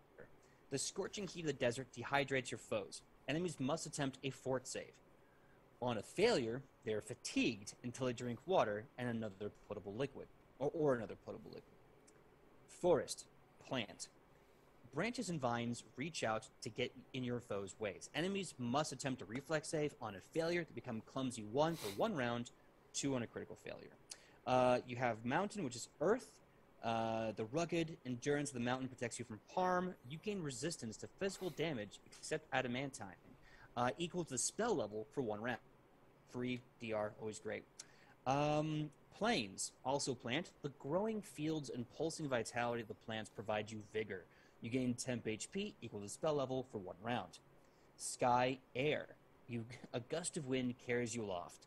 You can fly up to 10 feet. If you're in the air at the end of your turn and don't have a fly speed, you fall. Uh, swamp, also plant. Your magic draws in noxious swamp gas to fumigate your foes. Affected foes take persistent poison damage equal to half the spell's level, minimum one, with a basic fort save. So I think they have to save first before they take the damage. The endless darkness of the cavern depths of the underground, which is Earth, uh, opens up its secrets to your senses. For one round, you get dark vision as well as imprecise tremor sense out to 15 feet. Uh, special, you can't select another dedication feat until you got two of these. So, at the first dedication feat, you're basically getting this thing that when you cast a spell in an area, there's kind of this bonus area of effect depending mm-hmm. on the area you are in. You're not so much controlling the earth around you, you're just getting a benefit for where you're casting the spell. Yeah, um, this honestly, it reminds me of the Geomancer class from um, one of my favorite video games of all time, Final Fantasy Tactics, but so much better, so much better. Um, Geomancer, Geomancer in Final Fantasy Tactics, real quick, takes a lot of planning and um, clever plays, but in this game, in uh, Pathfinder Second Edition, you just cast a spell, and um, depending on the terrain you're in, it gives you something a little something extra. Yeah, and I like that because like it's one thing if you're in Final Fantasy Tactics and the entire excitement of the game is kind of being smarter mm-hmm. than the the encounter you're in. You know, yeah. uh, it's a little more difficult in things like Pathfinder uh, or any TTRPG when you know you're doing theater of the mind or you're just trying to focus on what you have already than to figure out some tangential tactic. Mm-hmm. I like that this is just a free a free effect that happens yeah. because of where you're casting this. Yeah. All right. Um, let's jump into the other feats. Uh, level four, you get uh, attunement shift with which is a uh, free action. Frequency once per 10 minutes, and the prereq is Geomancer Dedication. Requirements: Your previous action was to cast a spell with the air, cold, earth, fire, plant, or water trait. The magic of your spell, uh, the magic of your spell floods into you, overriding your connection to the land around you. You alter your terrain attunement to a terrain that matches a trait of the spell you just cast. You thereby gain your terrain attunement benefit when you cast further spells with the same descriptor, instead of using the terrain you're actually in. For example, if you cast Tanglefoot, your terrain attunement switches to the choice of Forest or Swamp, and your terrain attunement applies when you cast another plant spell. Your terrain attunement reverts to that terrain you're in one minute after you use attunement shift. Interesting. So, like, if if the benefit of the spell that you'd cast in that area isn't really one that's necessary, like Mhm. you don't really like it, you have the chance of changing what that gives you to something a bit more beneficial, depending Yeah. on your spell. Yeah, like uh say um you don't need say you're in the water and uh, you don't really need that swim speed at the moment. But you might want um you might want to tangle somebody up with your uh, plant spell. I would say as flavor instead of uh you know like vine stuff, seaweed. Seaweed would choke your opponents.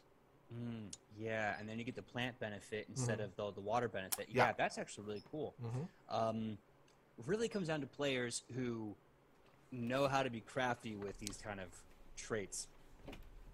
Uh, the next level four uh, uh, feat here is called Shared Attunement. When you would gain a benefit from your terrain attunement, you can grant it to one ally within 30 feet instead of yourself. This has no effect if the terrain attunement affects your foes instead of granting you a benefit. So that fly speed, you can grant that to an ally and shoot them out of there. Um, but if it would be, I think of the blue one that hurts people, swamp. Yeah, you probably don't want to Yeah. give your allies persistent poison damage. They won't be your friends much longer. Well, unless you're there, you know, going up against you. Not to say self defense. I, I mean, I mean, technically they're no longer your allies at that Yeah, point. True, true. All right. Um, next up is a level six feat called Rough Terrain Stance. It's one action, and prereq is Geomancer Dedication, and also you have to be an expert in nature. The requirements are you gain a terrain attunement benefit this turn. You enter a stance that makes it difficult to move around you. Each square adjacent to you becomes difficult terrain that matches the terrain attunement you gain. Rime forms in an Arctic terrain. Uh, momentary undergrowth shoots up from the forest terrain, and so forth. You ignore this. Uh, you ignore this difficult terrain. The stance ends if you move into a different type of terrain. Interesting. I kind of like this. It's like a passive ability because we've all seen it. There's like there's Mm-hmm. Yeah. so many spells that create difficult terrain. This is just. I mean, it's not for free. It's one action, but you're not casting a spell to do so. Yeah, That's kind of useful. it's kind of like a nature version of attack of opportunity. So instead of you swiping them as they're moving into your square, uh, they're affected by your terrain, um, your difficult terrain. Yeah, and and just the uh, idea of difficult terrain, I think, okay, kind of cuts their speed in half. Mhm. Uh, it definitely makes being a druid and potentially being squishy a lot safer. You're, you're running away from your enemy. Yeah. You're preventing them from from closing the gap on you. Uh, let's see what Attune Stride is. This is the level eight dedication feat. And what I like about it is there's not a ton of options. It's just two, four, six, eight. Well, two for number four, but like two, four, six, eight, ten, twelve. It's just what it is. Uh, Attune Stride, expert in nature, geomancer dedication, of course. You can move freely through terrain that you are attuned to. When a terrain attuned, you ignore difficult terrain in the corresponding type of terrain until the end of your next turn. Pretty self-explanatory. Oh, I'm in the water. I'm activating water stance or whatever. I'm just gonna move through water. Super easy now. All right. Um, next at level 10, you gain an ability called Draw from the Land. It's one action. A prereq is Geomancer Dedication, and you have to be an expert in nature. At this point, you're probably going to be an expert in nature if you're a Geomancer. Uh, Especially level ten. Yeah. yeah. Requirements. You gain a terrain attunement benefit this turn, and it matches the terrain you're in. You pull strength from the surrounding terrain. You gain temporary hit points equal to your level. They last for one round. If you previously gained the plains, uh, the plains terrain attunement effect this turn. Combine the temporary hit points together. So basically, you get a you get a bit of a HP buffer. Yeah, it's it's not bad. Uh, I mean, it's always good, especially if, if you're, you know, trying not to die and you're you're worried Yeah. about a little squish. Um, and it's one action, so you in theory can activate uh, a terrain benefit from a spell, free action to to I guess make the difficult terrain, and then with the last action, draw temp HP. So there's a tactic here that allows you to strike and keep yourself. Um, Yeah, go full defense. exactly. Yeah. Uh, next up, level 12, read the land, master in nature. You've learned how to commune with the land to learn information. You learn the commune with nature ritual if you didn't already know it. You can perform this ritual with a casting time of one hour instead of one day uh, without a secondary caster. And the commune with nature ritual, which is a level 6 ritual, so it's, it's a hefty one. Um, it is a primary check of nature to roll. Uh, duration up to 10 minutes is how long it will last. Uh, same as commune, except you can contact the primal spirits of nature, which know about animal, beasts, fae, plants, topography, and natural resources within a three mile radius. And commune, um, let's see here. You call upon an unknown, a unknown planar entity. Basically, you get to ask seven questions that are yes and no um, and you have to make a roll against some of it. Uh, you, but that's that's not the point. This honestly, this is really really good when you need to scout out uh, your immediate area. Mm-hmm. Uh, so I think the next one is yours. Yep, it's uh level 14. It's called Shifting Terrain. One action. Prereq is rough terrain stance, and you have to be a master in nature. Requirements: Your terrain attunement matches the terrain you're in, and you're in rough terrain stance. You slam your fists into the ground or twirl your arms about to create the terrain around you to shift and ripple, potentially throwing others off balance. Each creature within your area of uh, difficult terrain from rough terrain stance must attempt a reflex saving throw against your spell DC with the following effects. After you use its action, you can't use it again for 1d4 rounds. Critical success, the target is unaffected. Success, the target is clumsy 1 for 1 round. Failure, the creature is clumsy 2 for 1 round. Critical failure, the creature is clumsy 2 for 1 round and falls prone. So essentially, you become a Pokemon that uh, uses their Earthquake ability. Yep, absolutely. Uh, and clumsy's not bad. You know, it, it does give them, I think, penalties to uh, hit and I think some movement penalties Mhm. as well. So it's a really good crowd control effect for like either one really powerful boss or Mhm. when you're getting swamped by by minions. As always is the way. Eh, eh, itchy face. Mm. Ah, Sorry. There we go. Now, so shifting terrain's nice, but here's the other level 14 feet. Uh, and I was wrong. I thought I was just beep bap boop boop. But Mhm. terrain shield looks like it's the other choice. Yeah. Uh, it says here you gain a terrain attunement. This is the, the requirements. Uh, you have to have a master nature, and you gain a terrain attunement benefit since the start of your most recent turn, and that attunement matches the terrain you're in. And the trigger for this, uh, which can only be done once per 10 minutes, is a strike would damage you. You are so attuned to the land that it rises up to protect you from a potentially fatal blow in, in a seeming coincidence. For instance, a branch suddenly falls from a nearby tree to take the brunt of a sword swing, or a surprising charge of current disrupts your enemy's attacks. You gain resistance to the physical damage equal to double your level against a triggering strike. That that means th- at at level you get the spell, you are getting a resistance of 28 to whatever damage you're about to take. That's that's That's really nice. good. Yeah, that is.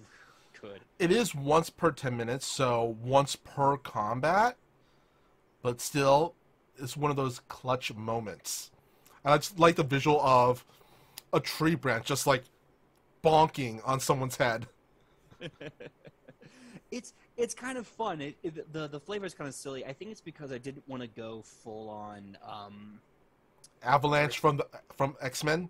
Sure, but I was thinking more like like an Earthbender. Remember in that awful movie that doesn't exist, Oh, there's a scene where a firebender and earthbender are fighting, and the earthbender kind of like raises the wall up, and the fire hits Yeah. the wall. Yeah.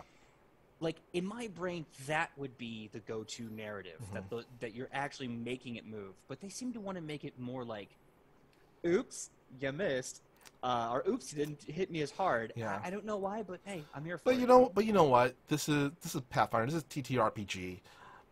If you want flavor wise, it's whatever you want to make of it that your GM is cool with.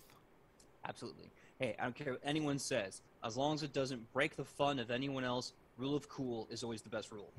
But not gonna lie, a tree just bonking someone on the head or their hand is kind of hilarious. Yeah. But anyway, um, now we are at the capstone of the Geomancer uh, archetype. At level 16, you get access to Quickened Attunement. Free action, and it's a once per day prereq of Geomancer dedication, and you have to be. You have to be legendary. Legendary. Mhm. In, uh, you wear that shirt just for today? no, no, but it's a happy coincidence. Wait, wait, no. I will say yes because it makes me sound smart. I mean, I like I like the the coincidence. That's an awesome coincidence. Uh huh, uh huh. But anyway, legendary in nature. Uh, the requirements is your previous action was attunement shift. If your next action is to cast a spell that would grant your terrain attunement bonus, reduce the number of actions to cast it by one to a minimum of one action. You can't use quicken attunement and quicken casting in the same round. That would make sense because that would that's too many um, meta magic feats. I don't think. Mhm. See, your next action is cast a spell that would grant you train team bonus reduced. Okay, cool. So like, basically, this is like a lot of those really powerful attunement spells would be uh, two action spells. And again, as Mhm. attunements, they're just any spell that has one of those elemental types: air, water, plant, whatever. So like, if you're casting, I can't think of a really powerful air spell. Ah, what the hell, fireball? Sure, it's it's the easiest to go to. Let's say you're casting a ninth level fireball, because why not? Then instead of being a two action cost, you can use this free action meta magic spell to make fireball cast one action and then one action to attune, and then heck if you want to, last action to draw from the land. So you're Yeah. at temp HP. A lot Or- of actions. yeah. Or that uh, last action would be uh, GTFO. Yeah, if you need to GT the FO, that's the way to go. Yeah. And, and this is why this is actually kind of a very good capstone feat. It, it's it's tricky when you think about it, but since you're going to be a dedicated caster, and magic's going to be Mhm. probably everything you're doing, and geomancy just gives you um, a fun side effect to casting magic in Mhm. different locations. This is kind of necessary to fully engage in all of this and Yeah. give you enough economy of actions Mhm. to have more Yeah. room for strategy. It's one of the it's one of those manipulation of your three action economy uh, feats. Absolutely. So it really does make sense. This is a 16th level feat. hmm Uh, so Michael Pao, what do you think about the Geomancer? Honestly, I love this. I actually right now I'm in my brain. I'm thinking of a uh, a druid geomancer character to play in uh, possibly a upcoming one shot or something. It's really interesting, and I like the fact, especially. Oh, actually, it's super useful in long campaigns, especially because, especially if you go if you're going from um, exploring the world, and you're going to be in a different terrain every few games. Yeah, I think you very you hit on a very good point there. Um, long-term campaigns really get more, you know, kind of punch out of Geomancer because what makes it fascinating is the the um, the versatility of the environment. Yeah, If you're And- in the same environment for like a one shot, it's like okay, well I know everything I'm going to do is only going to give me this one benefit. yeah. But I also want to say in those long campaigns, I would say even uh, the GM would definitely also appreciate it because that gives them something else to play around with. True, true. Uh, and that's what I say. Like, I think it's it's also kind of difficult if you think about it. Like, how do you make a geomancer concept interesting? Like, do we just go, oh, okay, I can do earthquake and I could do like I could throw stones. Like, eventually, okay, why not just be an evocation wizard and flavor everything like that? I really love they've made it still a geomancer in some way, Mhm. but they've done it with an additive system that it kind of creates more flexibility and fun as opposed to just Mhm. kind of limiting you to just like earthquake spells all the time. Yeah, I kind of want to say, um, what is it? Uh, if you want to kind of, I guess you could say, uh, Asian code this, Asian code this, especially you know, right now, Shang Chi, oh, so good, so good. I Uh, saw it. no, no, I haven't seen it yet, but I'm hearing so good, so good. Yeah, But um, if you want to Asian code this uh, archetype, Geomancer, Feng Shui, a Feng Shui master. Ooh. Oh, dude, I love that Mhm. idea.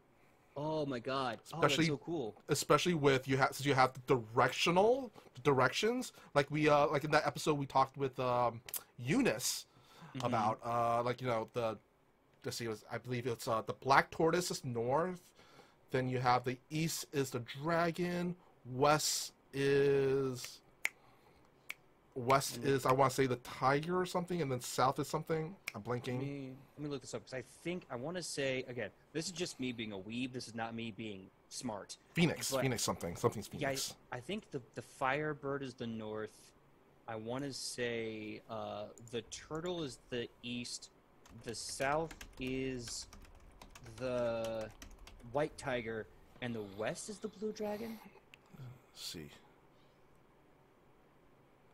Someone get in the comments and Yeah. correct us. Uh, I always look forward to your yeah. correction. I am looking at this right now. Uh, see, according to Oh, here we go. Mhm. Uh, the east is the azure dragon. Mhm. The south, the south is the vermilion bird. You are right. The Mm-hmm. north is the black tortoise, and the west is the white tiger. hmm So yeah, but anyway, uh, yeah, I would definitely want to code this into a geomancer into a feng shui um, practitioner.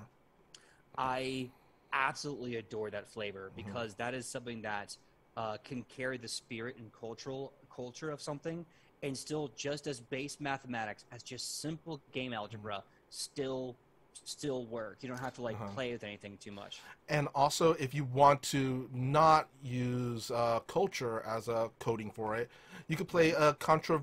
Uh, was it? What do you call it? Controvert, contra something. Basically, some uh, a person who is co- controverting the land or something. I'm, I'm, I'm mispronouncing. it. I know I'm mispronouncing it. Oh, uh, uh, uh, uh, conservation or conservation. Exactly, exactly. a fantasy version of that, or a park. Honestly, fantasy park ranger. I mean, yeah, I'm here for that. Yeah. Speaking of, Be oh, of- dude, dude, real quick. yeah. Be a be a beastkin bear Mhm. as a geomancer. Ooh, I love that.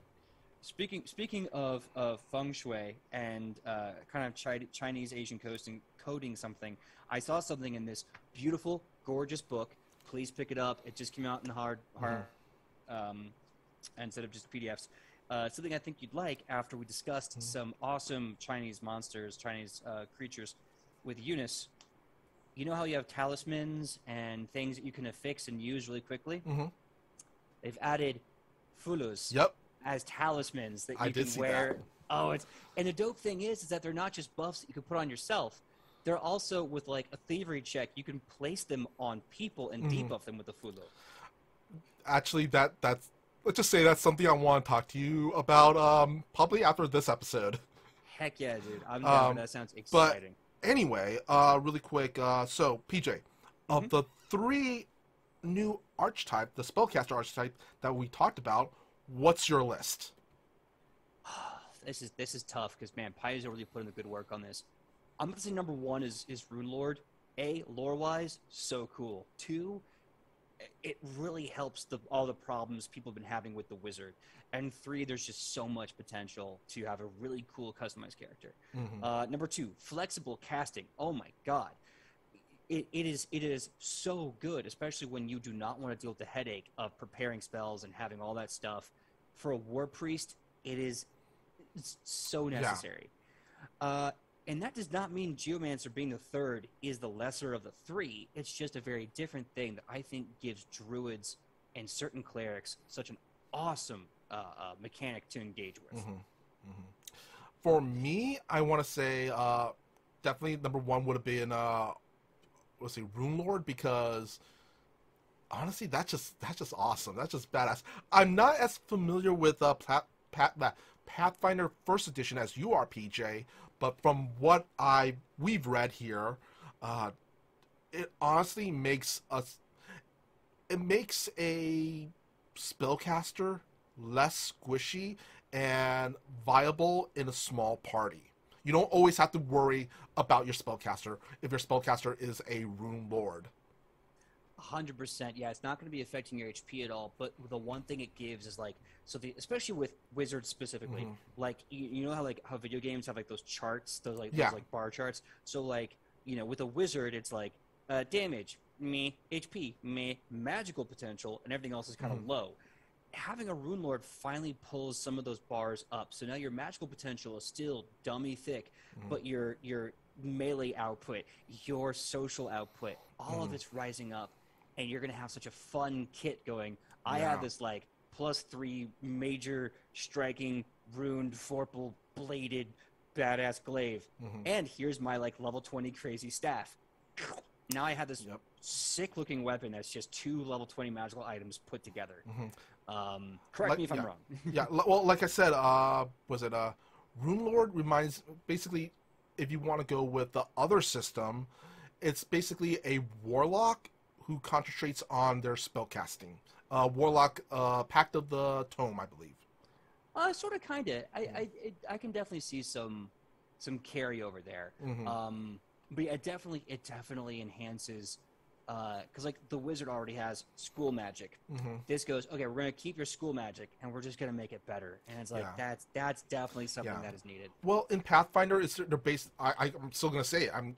It's uh, it's a magus that uh, concentrates on their spell casting.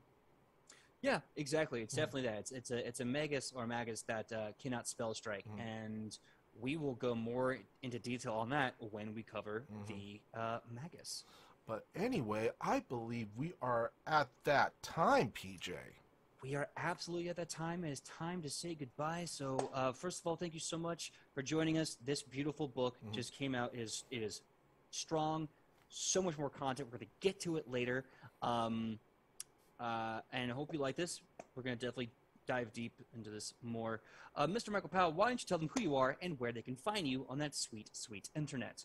Well, as always, I am the dash, da, dastardly dashing Michael Pao, and uh, you can find me all over the internet on my social medias, which is at Mr. Kapao. That's M R K A P A O, or my Facebook page, which is facebook.com slash Michael Pao does stuff, because I do a lot of stuff like my YouTube channel called Fantastic Tales of Adventure. And also on Thursdays, I believe, uh, Thursdays at 6 p.m. Pacific Standard Time, I'm on a little show called uh, Toyzilla Live on the Toyzilla Network channel here on Twitch, where we talk about toy news and uh, have some fun with uh, some nostalgia stuff. So, hope to see you there. And how about you, PJ? My name is PJ Megaw. You can find me all over the internet at pj.megaw, Facebook, Instagram, TikTok, Twitter. Come find me, come friend me. Let's have fun. And when I'm out here Tuesdays with Mr. Michael Pao, you can find all of us here Wednesdays.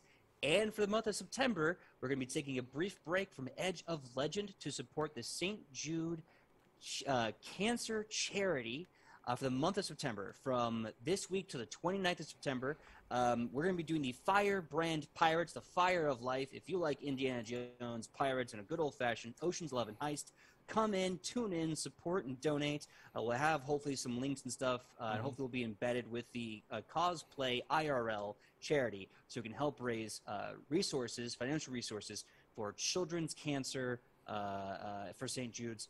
So come and tune in for that. It's still 8 p.m. Pacific Standard Time to 11 of the weeks. And then after that, in October, we're going back to Halloween with three very, very scary episodes, and then one episode of What We Do in the Shadows, Adolfon Prime Edition. What other crazy stuff is happening? Well, I'm so glad you asked. This Saturday, September 11th, I will be part of a D&D Muppets uh, charity game where we are raising money for a charity to help give uh, underprivileged and inner city children uh, free lunches. They don't have to, unfortunately, starve when they go to school. I will be playing Kermit the Cleric, um, and so that'll be fun to play Kermit the Frog as a cleric of life. Uh, so tune in this Saturday, 12 noon Pacific Standard Time. Uh, I believe at twitch.tv back, backslash blackness and dragons. Uh, I will put stuff out on social media and hopefully do a better job of giving you the title on Wednesday.